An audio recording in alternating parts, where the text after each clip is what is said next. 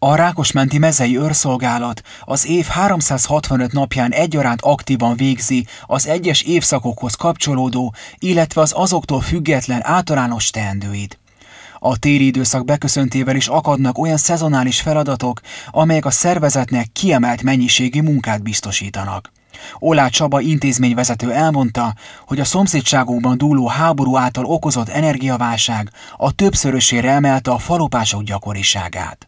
Az orosz-ukrán háború miatt, illetve a, a rezsik tízszeres megnövekedése miatt, hát sajnos a falopások száma az meghaladja jóval az elmúlt 5-6 éves átlagot.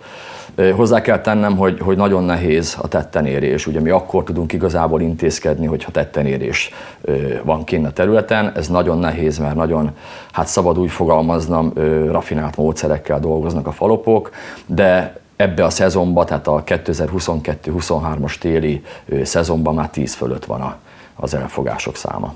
Rákos mentén a hajléktalanok száma elenyésző, a rájuk való rendszeres odafigyelés viszont a jelenlegi évszakban szintén hangsúlyos, utalt rá az intézményvezető. A statisztikát átnézve a hajléktalanoknak, a hajléktalanok családoknak a száma az nem növekszik, legalábbis itt a 17. kerületben nem növekedett.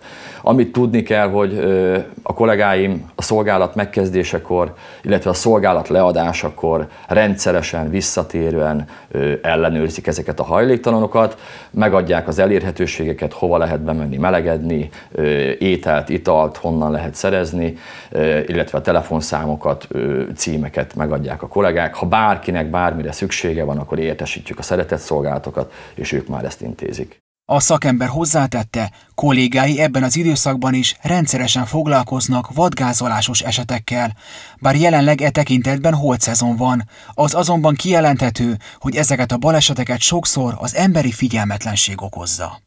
Amikor május környékén a gidák megszületnek, illetve van a, az üzekedés a, az őzeknél, akkor, akkor sokkal felelőtlenebbek az állatok, a sutát kergeti a bak, de most nyilván nem szeretnék ilyen szakmai dolgokba belemenni, figyelmetlenebbek, sokkal könnyebben megtörténik a vad gépjármű ütközés. Az érem másik oldala az, hogy Hiába van kirakva egy 40-es vagy 50-es tábla, ugye nagyon sok autós gyorsabban közlekedik, nagyon kevés az a néhány másodperc, amíg reagálni lehet, és sajnos megtörténik ez a vadgázolást, amit ugye a kollégáim beszállítanak a nébiknek, a tábornok utcára, veszettségvizsgálatra, stb. Ezzel megint egy 3-4-5 óra hossza egyébként elmegy.